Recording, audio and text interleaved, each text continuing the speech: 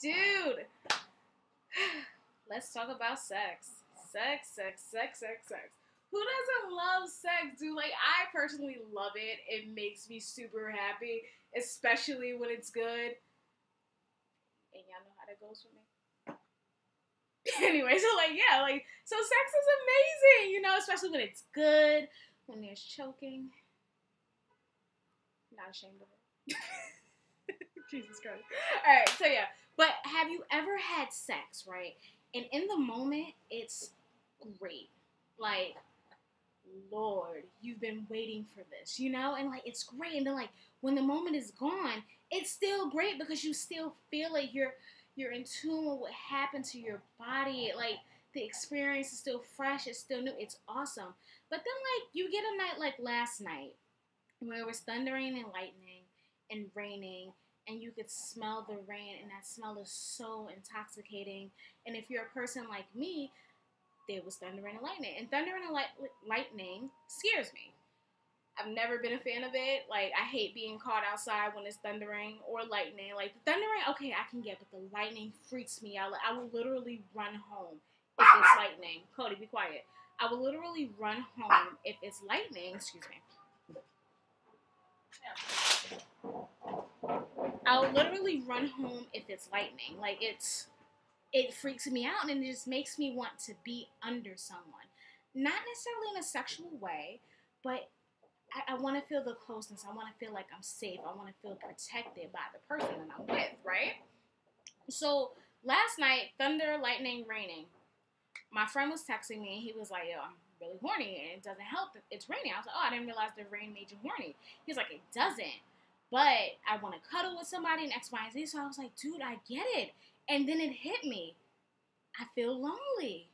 Like, you could bang anyone, virtually anyone, but at the end of the day, like a single girl like me, it, I mean, that's just for carnal pleasure. You know what I'm saying? Like, I want to feel the closeness. I want to feel protected on nights like that. I want to feel something, you know? And like, when it hit me that like, dude, not only am I still single, like I'm perfectly fine being single. You know, it's my growing period right now. I'm really, really feeling myself. Can't really tell because I got this fucking hat on, but I'm really into me right now. And like, I am super dope right now. Like, it's just.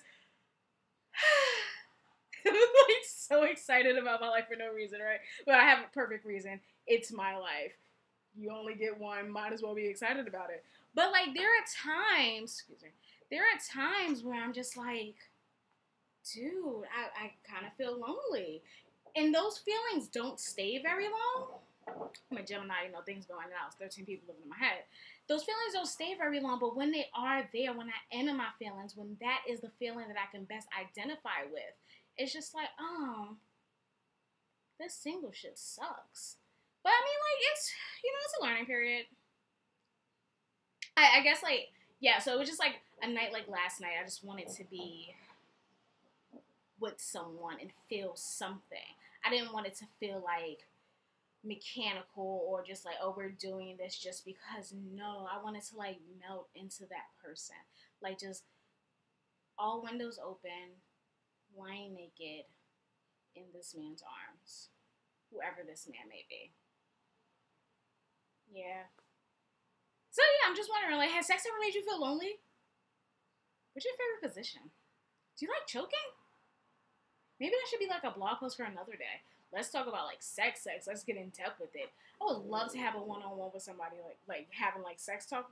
Anyway, sorry guys, but yeah, yeah. So uh, that's the end of this blog post, folks. Stay tuned for more coming soon. Yay! Bye, guys.